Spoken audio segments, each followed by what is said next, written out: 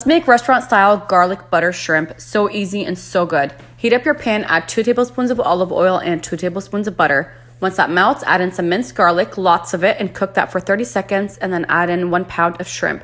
Cook for a few minutes, and then add some lemon juice, season with salt, pepper, and red pepper flakes. Mix it up, add some parsley, and that is it. It's that easy. Enjoy.